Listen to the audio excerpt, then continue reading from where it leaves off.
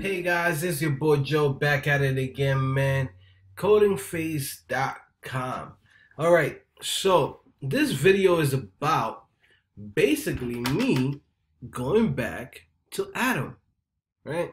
So for the past two months, uh, I would say at the end of June, I started messing around with uh, Visual Studio Code.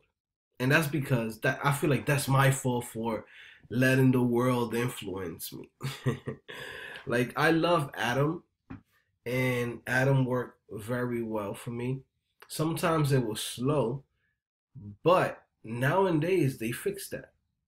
Right? So it, it will get slow if you had a whole bunch of packages and and just like for me, like I used I, I used to have Nuclide, was it Nuclide or Nucleide or I don't know, Nuke ID or whatever you want to call it from Facebook.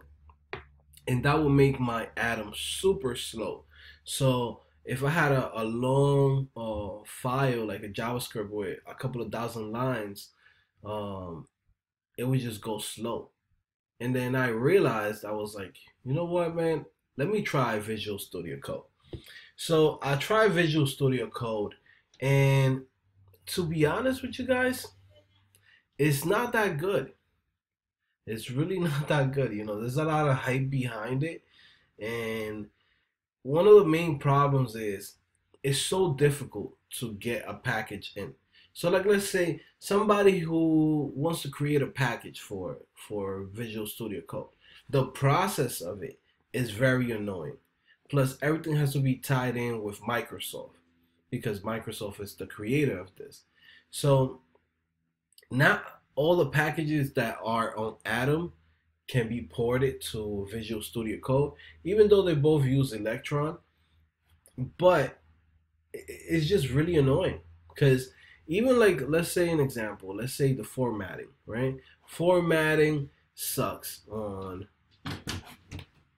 formatting sucks in how you call this shit in Visual Studio Code.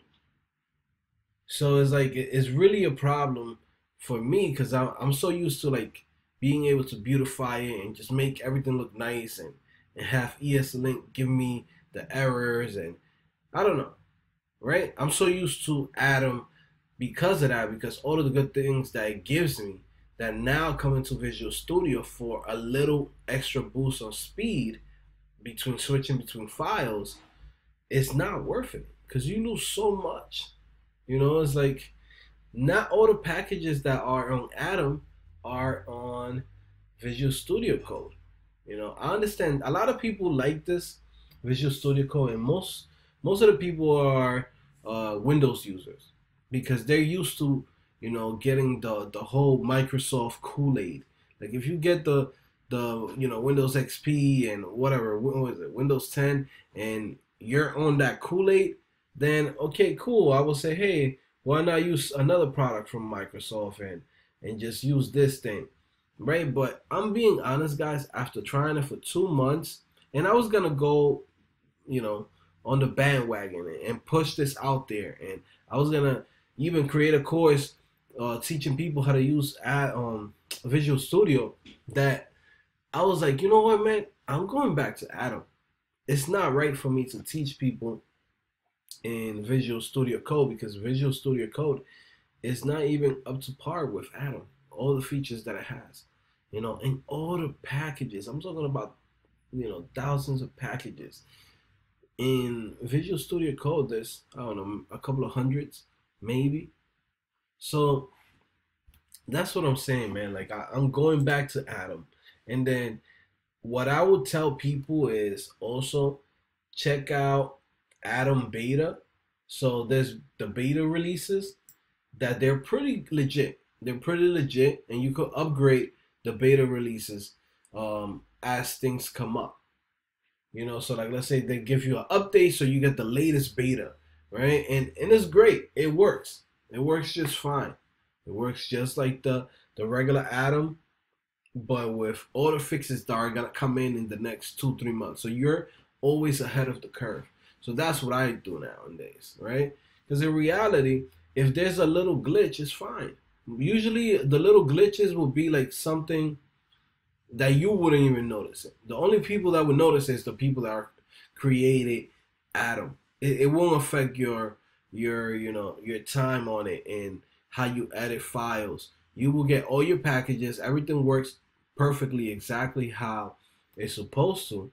It's just now you're getting the latest uh, version of it. You know before it even comes out.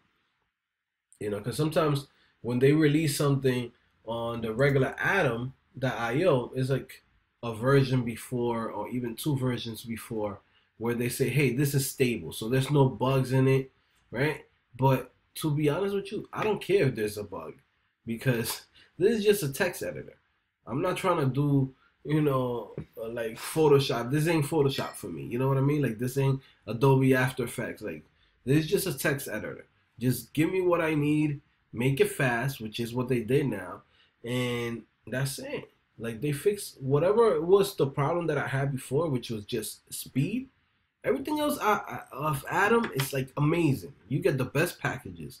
You get packages right away. You get uh, themes. You get UI changes. You can't even customize that well the the one from Microsoft Visual Studio Code. So for me, I'm really big on, on customizing things. I'm really big on I'm saying, hey, this how I like my things. This how I like to have my colors. This how I like to have my functions, uh, uh, you know, italic, or I like to have my, you know, how you call it? Like you guys know, I use standard JS for my standard for uh, JavaScript. You know, I don't use the Airbnb. I use standard JS. I don't like semicolons, and that's how I use it. And then it shows me everything that I need right there on the screen. Like let's say if I have if I do forget to put something and I say I put a, a semicolon, it shows me right there on the screen. On this line, you put a semicolon, right? Or like let's say for uh, JSX, it shows me all the errors on the screen. I don't have to look at the the console log like Visual Studio. I don't have to deal with none of that shit, right? So I think like I'm that's it. It's official. I'm going back to Atom, guys. And um, I do apologize for the people that were waiting for a Visual Studio Code course because it's not coming, guys. I'm sorry. It's not coming. I'm switching it up to the Atom course um, because it has everything that you need, guys. It has more than what people need. Like, you have every single language that's out there you could have an amazing experience with Atom. Like it doesn't matter. It could be Crystalline. It could be JavaScript. It could be Python. It could be Go. It could be Node. It, it doesn't matter what it is. Like it's amazing. Like they've been doing their thing, man. And the fact that they upgraded and fixed all those uh, problems that they had, because I think it was like more like a of a memory leak, where if there was too much um, or too many packages on a single instance of the atom, then it would just go super slow for no reason. So you will have to choose like oh four packages and that's it to make it go fast. So now you could actually just have like 20. Right now I have 40 something packages and everything's running smooth. I'm like, whoa. Like they really upgraded it. Like, trust me. So, yeah, guys, we're going back to Atom and that's what we're doing now, kids. Like, your boy's back. Atom, welcome back. You thought it was over? Nah, dogs. Listen, it's a whole new world right here, man. When you click show more, you're going to see everything. All right? You got 50% off to my website, codingphase.com, automatically because it came from YouTube. That's the coupon code, kids. All right. And then from there, you got uh, my sponsor links, of course. But it's crazy because I'm sponsored by them now, udemy.com. But it's crazy because they taught me how to become a developer when I was doing this by myself. And I'm proud to say that. I'm proud to say, hey, I'm actually a developer who's successful and I'm doing my thing thanks to Udemy. Okay, guys, check those links out. Best instructors in the world. They're right there. Trust me, guys. Believe in me. All right. And then from there, you got the Discord, which is basically a chat room. is a, a way to communicate with each other. Like, you know, all my friends are in there. You got your boy Matt, you got your girl Barbara, you got a couple of people in there. You know, we got Cam, we got the whole squad is in there, guys. Listen, check it out, man. Put in some time. Just click on that link, show more, and you will see all the most valuable links. All right, guys.